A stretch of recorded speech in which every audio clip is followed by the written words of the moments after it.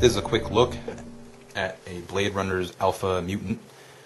We had Chuck G do five mutants for us um, a little while ago, and this one in particular, we named the Alpha Mutant Fossil because of the unique finish that Chuck put on it at the request of the person who ended up getting it.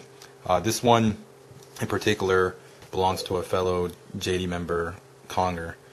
Uh, so I wanted to thank him for sending this over to me so I could kind of take some uh, pictures of it and some video and uh, share it with the rest of the community.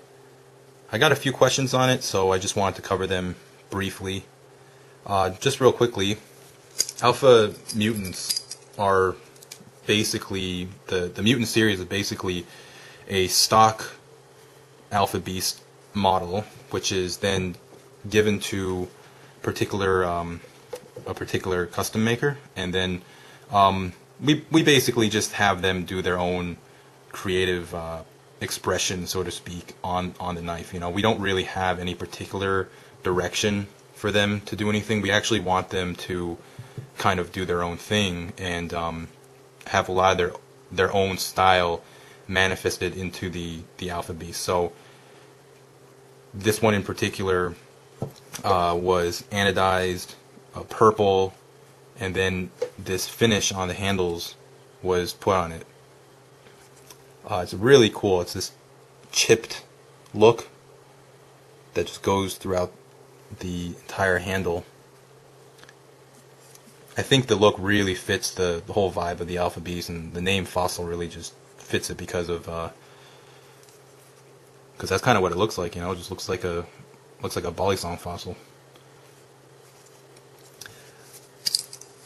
Uh, Chuck went ahead and anodized it, and uh, it really came out cool because because of the way that the texturing of the handle is. Some parts of it are purple, some parts of it came out kind of light blue, as you can see and just depending on the way the, the light hits it, it looks like it's almost um, glimmering. So it's very very cool. And as you can see, he actually hit the the spacer on um, on both sides. So even the spacer got it, and if you look here, even the pivot's got that texturing too. So that's pretty cool. Just look, I think it looks really great on this on this knife. The blade grind is different from the, the standard grind. Usually, um, the stock Alpha Beast has the spear point, which this uh, this this end here, this uh, swedge, is uh, full like like here. This will go all the way up here, and then the spear point kind of starts where the where this curve starts. So Chuck took this and he ground it back further, and he left this little sliver that just tapers down into the the profile of the blade, which is really cool. Very cool, cool grind that he did. Every uh, grind that he did for the mutants is, is different. So this one, there's no other blade that's like this uh, for the Alpha Beast or any of the other Alpha mutants. All the uh, grinds are, are unique to um, to each mutant, which is pretty cool. Um, some people ask me, does the texturing affect the uh, flipping, and does it make it grippier? Does it feel uncomfortable or is it comfortable?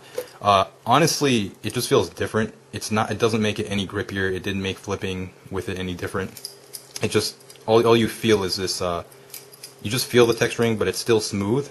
So it's not um, doesn't get stuck or anything. I know the, in the pictures and maybe even in this video, it looks like it provide more grip, but it's still pretty slick. So it's not really um, it's not any any grippier than the than the stock model or any other mutant.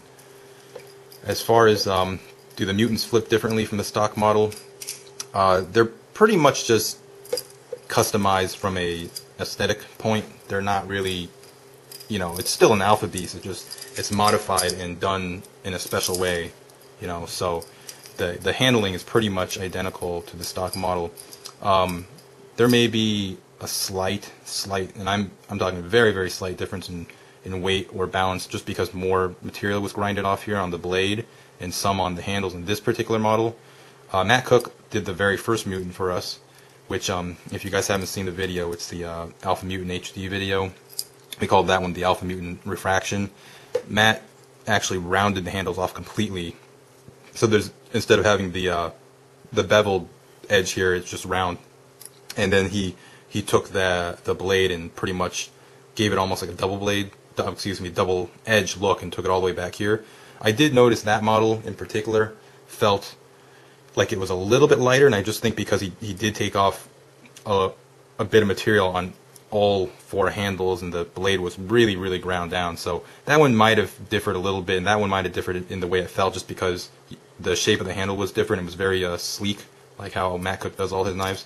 So that one might have been a little bit different, but overall the mutants, um, overall the mutants are pretty much the stock model, just with a, a very unique and uh, cool finish done to them, and we try to make them all one of a kind. So that is the Alpha Mutant Fossil done by Chuck G. Hope you guys enjoyed a, kind of a closer look at it. Uh, we will start having uh, exclusive content on the Blade Runners YouTube channel. I've been mirroring, uh, excuse me, mirroring the some of the content on my channel and on that channel, just because there's uh, that channel just started. So, uh, but eventually that channel will get some exclusive content, and, and we do have a lot of stuff in the works for you guys. So thanks for watching this one. If there's any questions or um, uh, comments, you know, leave them below and hopefully we'll be uh, updating you guys soon with some some more model information. Thanks for watching.